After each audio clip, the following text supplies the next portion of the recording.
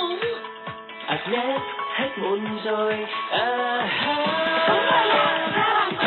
Cùng Văn Vinh du lịch biển